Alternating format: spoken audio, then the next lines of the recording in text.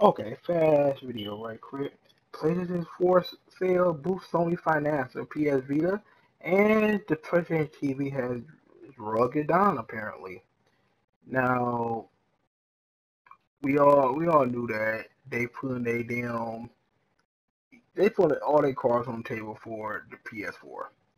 You know, sell in Sony games and network service division with the PlayStation division called Home increased 16.8% year over year to 4.39 uh, billion thanks to an increase to the PS4 hardware unit sale.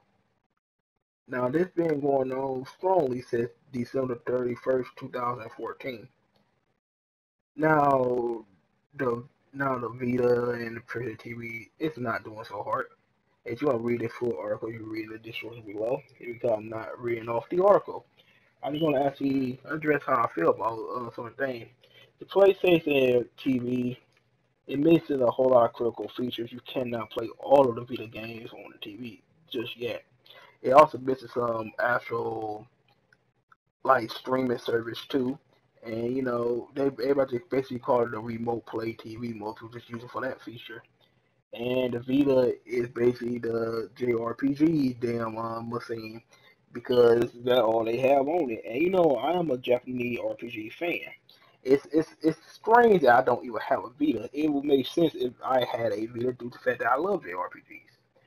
But the thing is, that's the thing. They got a lot of JRPGs. A lot of people are not like how I am when it comes to actual anime or video games. We, you know, us anime fans, like true dedicated anime fans, like the Japanese video games as well. Most of us. So, you know, we be appreciated to that, but a lot of people just want games like Infamous. A lot of people want games like, I don't know, God of War, Uncharted, The Last of Us. They want games like that on a Vita instead of playing a game like Tales of Heart or a Final Fantasy game.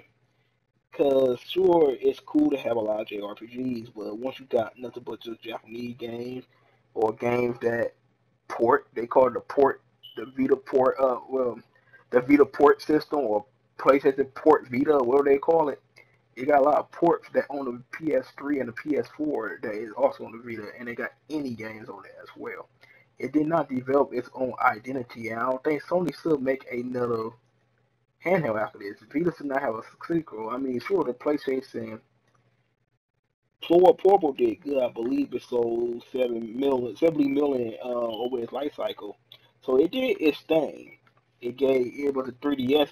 I mean, well, not 3DS. A DS still kicked its ass. It dominated. Nintendo can make handhelds. Sony still realized this and just leave it alone. Now the PlayStation TV thing, it's just an accessory to the Vita, but yet due to the fact that Vita is not doing hard hot, you would know that that was about to do hot as well. So I knew that this was about to fail. However, it can turn around, but it's up to Sony fans to support the damn system with a handheld and this little micro damn system in order to turn this thing around. But hell, sometimes it's just too much to ask for. I might get a Vita. Who knows what I might get in the upcoming months. But anyway, tell you guys think. Make sure you guys rate, comment, and subscribe. Also, make sure you guys check out Gaming Sans Frontier. Their channel in the description below. And have a good one, you guys. Peace.